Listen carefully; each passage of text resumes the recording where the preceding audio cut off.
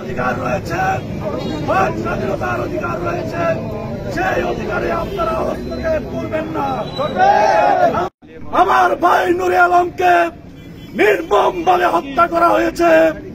প্রিয় সংগ্রামী উপস্থিতি, আমি উপস্থিত খাগড়াছড়ি জেলা বিএনপি সহ বিভিন্ন অঙ্গ সহযোগী সংগঠনের নেতৃবৃন্দ। প্রাণ প্রিয় সংগঠন খাগড়াছড়ি জেলা